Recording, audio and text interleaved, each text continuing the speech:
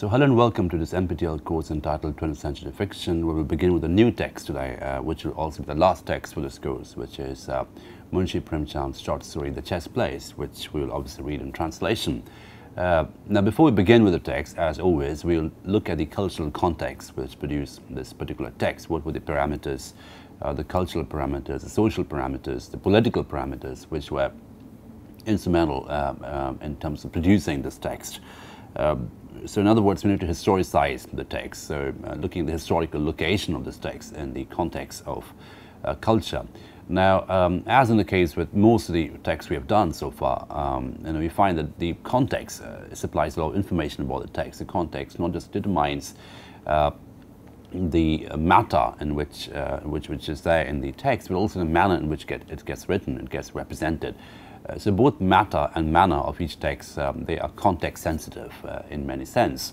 So for this particular text, we find that uh, this is obviously a pre independence text. Uh, this was uh, the, the, setting of this text and uh, is right around the Sepoy rebellion.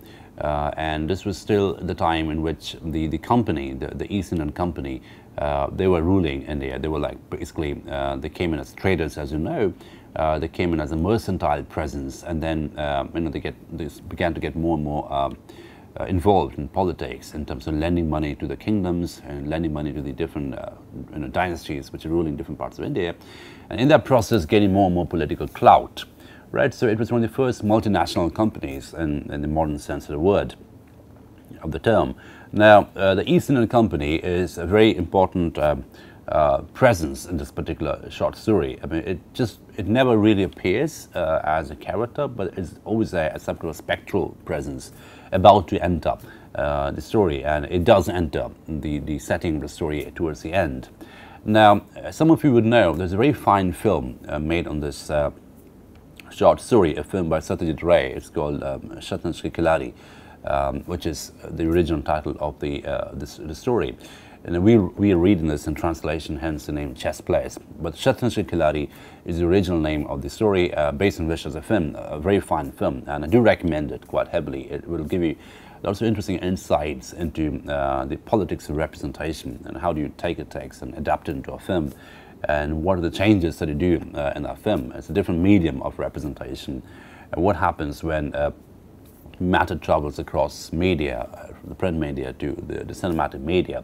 So what are the refractions that take place? What are the bends uh, and diversions and departures which take place when matter travels from one medium to another medium? So uh, th that film is a very good study as well of that meta-politics of representation. But coming back to this text, which we will begin in a moment, uh, I'll spend some time talking about the, the context as well, and uh, as I mentioned, but I think it's important for us to locate it and historicize it before we really uh, dive into the text uh, per se. Now, uh, the, this is the setting is Lucknow, uh, as we know, uh, and this is the time of Wajid Ali Shah, the last uh, uh, Nawab of Lucknow, who was deported after this, the, the, East India Company took over. He was deported to Calcutta, and he came over to Calcutta with his entourage. So that's how Calcutta began to have some kind of Nawabi influence in terms of culture, in terms of food, etc. for instance, the, the Calcutta biryani, which we have today, was something which traveled from Lucknow. So again, that, that is a marker, a food marker, a material marker, which is also reflective of political change, a political shift. So the, the entire shift of biryani from Lucknow to Calcutta is obviously reflective of the political shift from uh, of Wajid Ali Shah from Lucknow to Calcutta, where he was essentially sent off and deported and imprisoned by the British. Now, we find that, uh, among other things, this is also a very fine study of economic shift because what we see here is a transition from a feudal economy to a mercantile economy, to a more capitalist economy, if you will. Uh, so the feudal economy where money is controlled essentially by uh, some uh, feudal lords who have had the money come to them through inheritance essentially without having to do any work.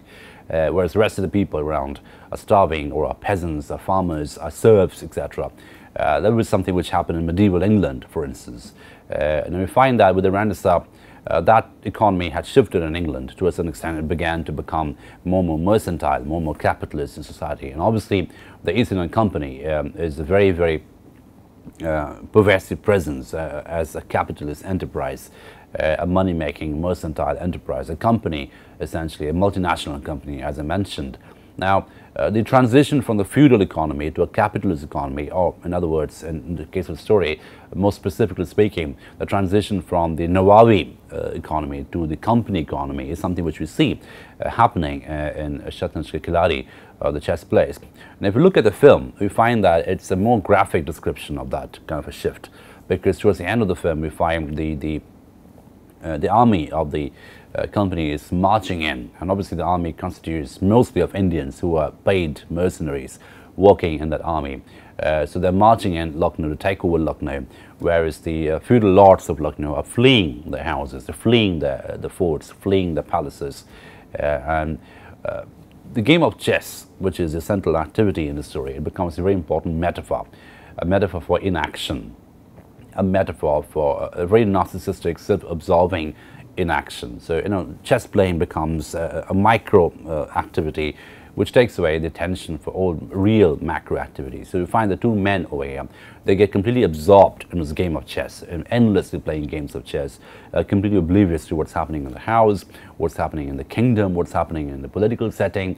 And that becomes a very interesting reflection of the very narcissistic, almost pathological absorption uh, that the feudal lords began to have at that point in time, which was obviously quite detrimental to the economy, uh, quite detrimental to the politics, quite detrimental to the entire running of the state, as it were. And again, if you take a look at the film by Satyajit Ray, uh, Shatranj Ke Khiladi, we find that uh, the way that Nawab is depicted in that uh, film, uh, he is someone who's uh, obeys, he's quite almost certainly hedonistic, and he's a lover of pleasure. Uh, he sings songs, he writes shairis, uh, he flies kites, he hymns uh, songs and different kind of melodies at different points of time. Uh, so he's essentially, uh, from the point of view of the capitalist uh, mercantile control system, he is quite symbolically and quite stereotypically speaking the effeminate leader. So his effeminacy is something which is portrayed in the film uh, quite sartorially as well. He's wearing oversized cloaks, oversized gowns all the time. Uh, whereas if you contrast that with the, uh, the dress that the British are wearing, the company people are wearing, they're cut uh, to precise measurements. Uh, so it is almost uh, even sartorially, if you like take a look at the film, even sartorially, we find that there's a degree of excess in what uh, the Nawab is wearing. He's wearing excess clothes, he's wearing oversized gowns, oversized uh, cloaks, uh, he's wearing oversized um, uh, thrones, uh, the, the specters, and everything is oversized around him. the crown is oversized, the throne is oversized, the cloak is oversized, the, the gown is oversized. Whereas with the British, the East India Company people, when they come in, and there's a lovely scene in the film where they're having a meeting, we find that British officers are shown to be wearing very cut and precise garments, tailor-made for them. Uh, it's not like one big size. So again, uh, that is reflective of the utility-driven economy of the company policy and the excessive economy uh, of the feudal policy. So everything is excessive with the feudal control, whereas everything is very utilitarian and pragmatic uh, and uh, sort of utility driven to a certain extent and precision driven when it comes to the company perspective of controlling the economy. So that contrast is running throughout the film. That contrast is also there in the story.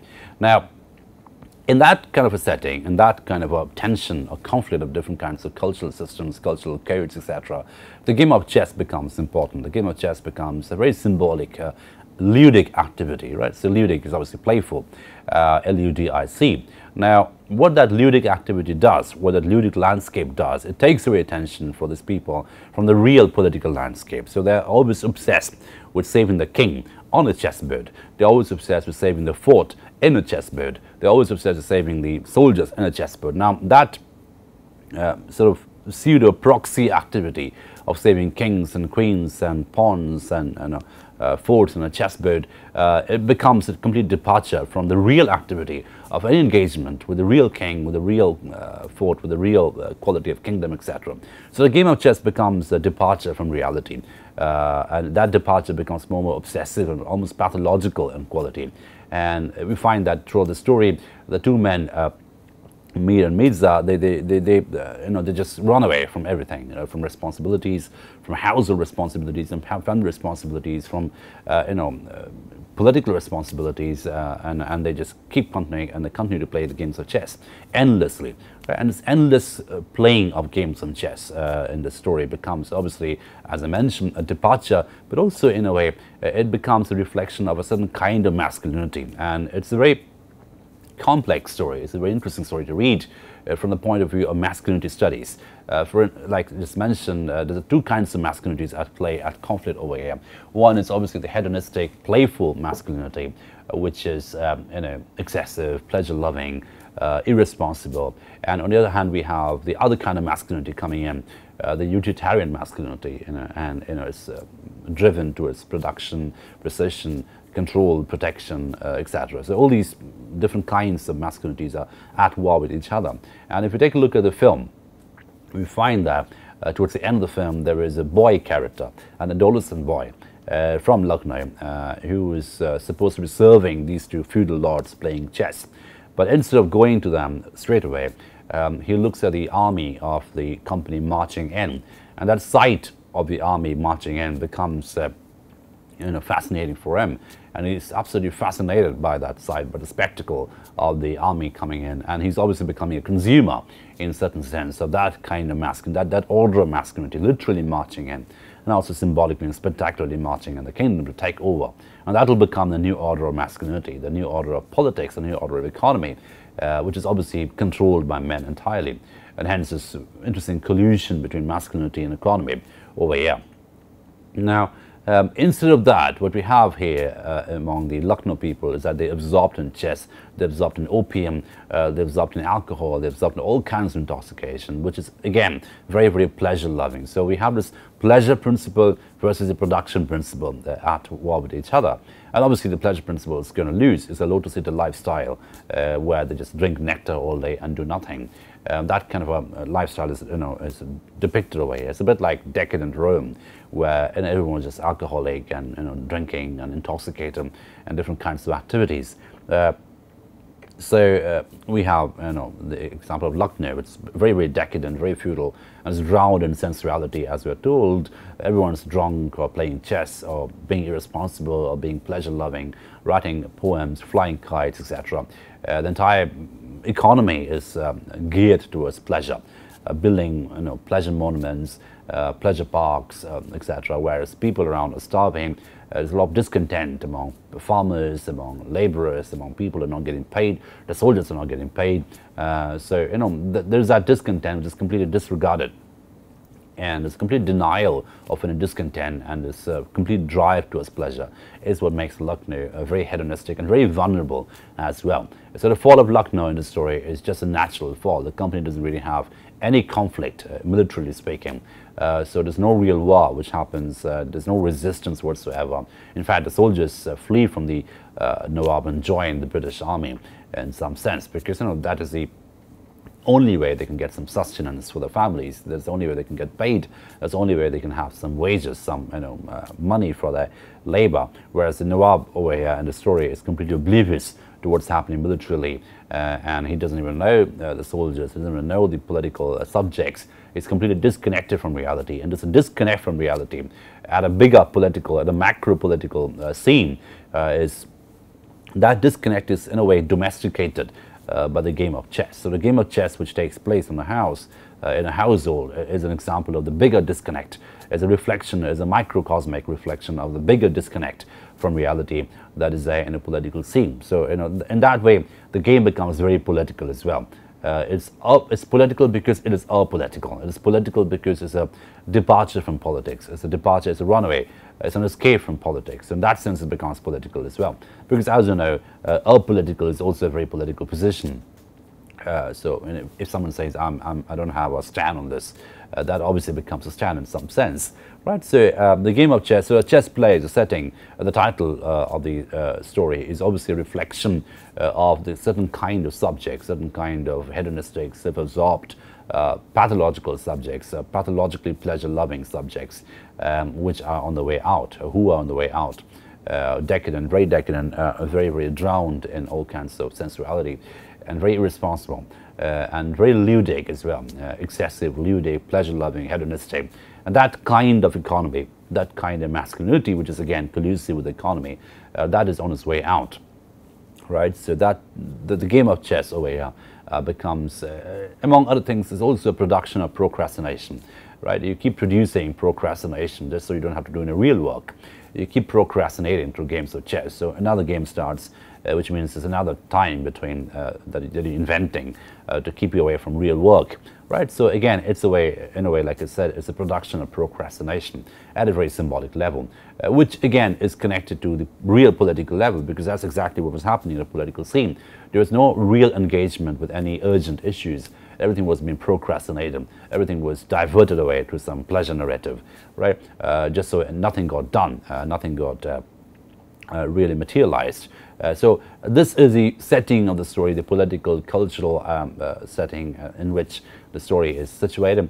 And also the film, as I mentioned, if you take a look at the film, it's a very useful film to look at because it's an excellent adaptation in some sense uh, of the uh, you know, entire tension, the political, cultural, gender tension.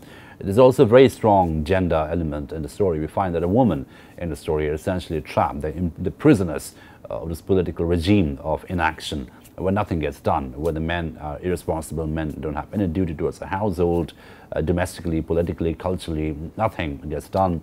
Uh, so they become more and more discontented.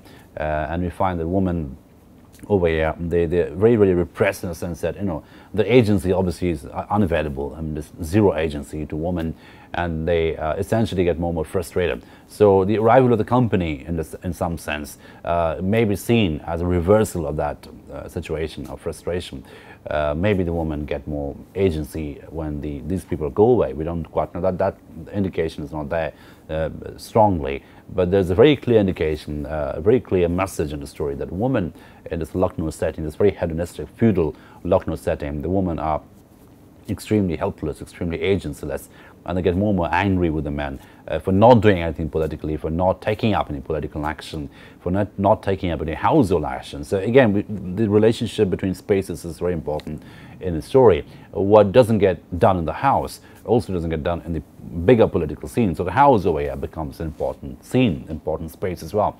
Because the men over here, they are quite irresponsible towards their own house and the irresponsibility towards the household spaces, the household features, uh, is again a reflection of the responsibility of the bigger political space, right? And so all the responsibility, all the energy uh, that I have is directed towards this ludic landscape of the chessboard, uh, the playful landscape of the chessboard. That's the only landscape in which any energy is diverted or you know, focused on. Everything else is just uh, diluted. Uh, nothing gets done in the house, nothing gets done in the political scene. So in that setting, uh, the, the woman becomes very, very helpless. The woman becomes very, very agencyless, and they become very, very frustrated. So the frustration of the woman becomes a very important gender perspective uh, in the story. So the frustration is also erotic in quality. Uh, there's no relationship, uh, there's no conjugal relationship, uh, this man and this woman. There's also a very interesting angle that one can explore. Uh, the two men in the story who keep playing chess all the time, there's no indication that they have any children. So again, the lack of productivity also spills over into a biological sphere. They don't even engage in conjugal activity uh, in a proper sense, uh, you know, and that you know that obviously makes them extremely not just hedonistic but also uh, unproductive. So unproductivity uh, or non-productivity becomes a very important symbol in the story. And that non-productivity is there in the, uh, the economy, is also there in the erotic economy in the story. So even at, the, at a conjugal sexual level, uh, it's completely unproductive. There's no relationship at all between the men and the wives. And all that they do, the two men, uh, they, they continue playing chess all the time. And you know, if we can extend that narrative farther, further, you find that a game of chess almost becomes something like a homoerotic bond uh, between these two men. And they just run away from the families, uh, they steal away from everyone, and they meet clandestinely, uh, almost like a rendezvous of lovers, uh, to continue playing the game of chess. So again, it's like two men uh, uh, where, who are using this game of chess to produce proximity, uh, to produce intimacy, uh, uh, and that's how this intimacy and proximity continues forever, uh, taking them away from this heteronormative, you know, productive principle of economy, sexuality, familial duties, etc. Right. So that that is the long and short of the story that we need to bear in mind for the purpose of this particular course. Right. Okay. So with the little time we have for this session, let's dive into the text and see how the content of the text just corroborates uh, the discussion we just had. So this should be on your screen now, uh, the chess players by uh, Munshi Premchand. I'm going to read out the first section from the screen and you can follow it from the screen as you uh, hear me. Okay. It was in the times of Wajid Ali Shah. Lucknow was drowned in sensuality. The big and small, the rich and the poor, all were sunk in it. So again, the whole idea of being drowned in sensuality is the opening uh, of this particular story. Everyone's sinking in sensuality. I mean, everyone's just full of pleasure all the time. Everyone's intoxicated. Uh, different kinds of sensuality, art, you know, alcohol, opium, etc and we are given a little description of the kinds of sensuality which were there, prevalent in Lucknow at that point of time. Some were engrossed in dance and music, some just reveled in the drowsiness induced by opium. So again, opium becomes uh, an important uh, metaphor, an important symbol over here. Uh, it's an instrument of numbness Right? Something which is going to numb your nerves uh, and again make you unproductive, make you uh, lethargic in quality. So opium will induce lethargy in you, opium will induce sleep in you, opium will induce intoxication in you, and that, in, in that induction into intoxication is something which is uh, obviously pathological, obviously non-productive, uh, and you know it, it, takes away from the principles of production and productivity, and you know, takes it towards the principles of pleasure. So again, we find the entire focus is towards the production of the pleasure principle rather than the productive principle. So opium becomes a very key symbol right at the beginning of the story. And then we're told love of pleasure dominated every aspect of life. So, you know, hedonism was the only um, uh, principle around in administration, in literature, in social life, in arts and crafts, in business and industry, in cuisine and custom, sensuality ruled everywhere. So that was a meta narrative, right? In administration, in politics, in art, in culture, in business, in industry, everywhere, uh, people were just interested in being in finding pleasure and, in enjoying pleasure. So it became uh, a complete economy of enjoyment rather than any economy of responsibility or productivity, right? So that, that's interesting uh, description right at the beginning that we see. A sensuality ruled everywhere. So that becomes the ruling principle, the meta principle.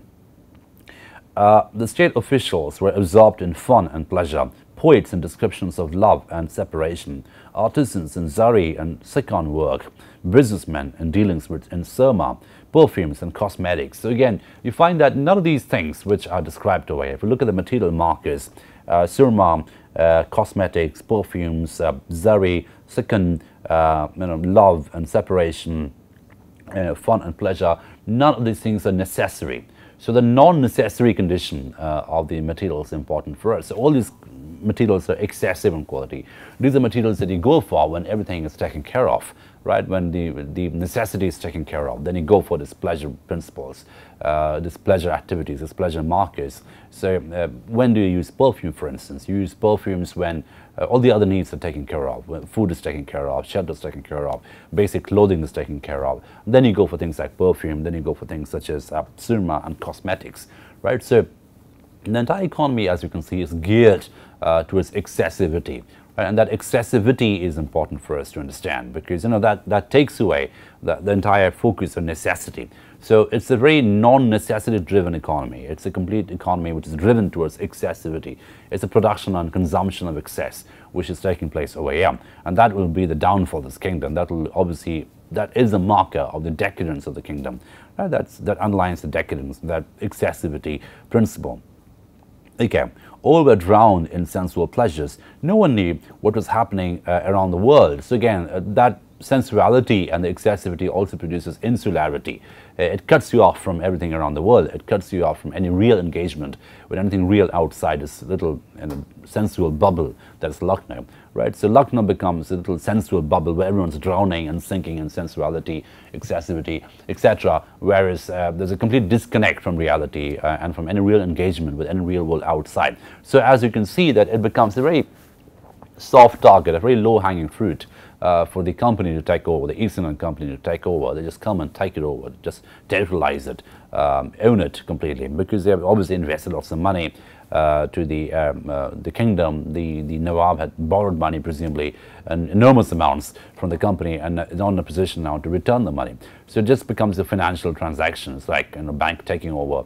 Um, you know, a defaulter, or something like that. So there's no resistance whatsoever, and that's how the East India Company operated at the beginning, as we know, it was a very mercantile enterprise. It would lend money to all those kingdoms and then ensure that all the kingdoms would become defaulters uh, and then they would just take over the kingdom. So, you know, before it began, uh, before it became a fully military organization, it was essentially a mercantile organization and it operated and took control and took ownership and territorialized everything through this mercantile processes. Okay, that's something which is important for us to understand today, looking back at the history of imperialism. Okay. So what kinds of sensual pleasures were going on? Uh, well, we know no one knew what was happening in the real world outside. So quail fights were on. Rings were being readied for partridge fights. Uh, somewhere the game of Chosa was being played, with its attendant shouts on the winning throw. So we have bird fights, we have pigeon fights, we have some kind of dice game happening on the streets all the time. So if you take a look at the streets, the visual narrative over here, imagine or visualize the streets of Lucknow where everyone is just shouting and gambling and there's a lot of gamble going on with bird fights, etc. So no real work is getting done. So every, the entire focus of the economy, the entire focus of the energy is towards gambling, towards intoxication, towards sensuality, etc. Which is obviously none of it is part of the linear productive principle of, uh, you know, economic or administrative control.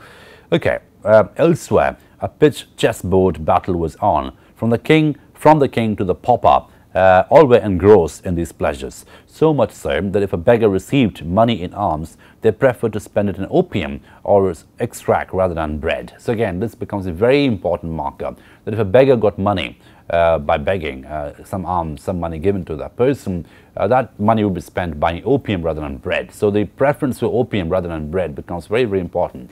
Because as I just mentioned a little while ago, that bread would be a marker of necessity, as a marker of nourishment uh, or necessary nourishment, whereas opium over here becomes a marker of excessive nourishment, sensual nourishment. It's something that you do to your body at an excessive level, right? It's an intoxication, it's psychedelic in quality, etc. Now, the preference for opium rather than bread becomes a very important marker. And again, look at the way in which uh, uh, the degree of condensation uh, takes place, right? So, you know, it's just everything is condensed together uh, into little material markers which are reflective of the bigger macro economy going on, uh, the macro operations going on in the economy. So what Premchand is telling us, what the narrator is telling us here is that you know, if a beggar in Lucknow gets money, then he will go and buy opium or its extract uh, even the money is less, he'll buy an extract of opium, or the money is more, he'll buy real opium, but not bread. And that preference, that bias towards opium rather than bread, uh, is reflective of the bigger bias over here, the bigger political, macro cultural bias towards sensuality, towards hedonism, towards pleasure, rather than towards um, the necessary things. Okay, uh, playing games like chess or cards or Ganjifa sharpens the mind, improves mental faculty, and helps in solving complex problems. Such arguments are being forcefully advanced. So, you know, people started consuming the knowledge, the belief that, you know, playing games like chess or you know, gambling or cards uh, they, they sharpen the mind. So you know, that's played. So there's some justification, some pseudo knowledge, some pseudo theory justifying all these activities in some sense. That let's all sharpen our minds or wits or faculties rather than doing mundane things. Uh, people subscribing to this thesis uh, can be found even today. So again, it cut back in, in current time. Um, narrator is telling us that you know, such people who subscribe or consume these beliefs can be found even today. So if Mirza Sajjad uh, Ali and Mir Roshan Ali. So Mir and Mirza are the two people over here, uh, the two protagonists in the story spend most of the time sharpening their wits. How could any thoughtful person take exception? So there's an ironic tone over here, saying that if Mirza and me, they play chess all the time, that's just sharpening their wits. How would, why would someone object to it, right?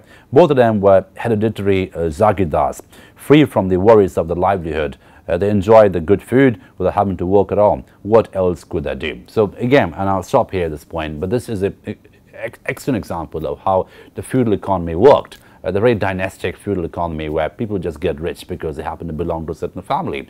Uh, money just uh, percolate, money just keep coming in because there's some land somewhere uh, in which some farmers are working and they have to pay off some money because they're working on the farm. So that money comes then to these people and there are several such farms, several such lands in the parts of the kingdom. So they don't have to do anything at all. They can just live off the ancestors' land. They can just live off the ancestors' property uh, and do nothing at all uh, to, to, for their own livelihood, right? And all they can do, all they need to do is be needless all they need to do is being uh, hedonistic, superfluous, So the entire idea of the superfluous consumption becomes important, or conspicuous consumption becomes important. They're always intoxicated, they're always playing chess all the time.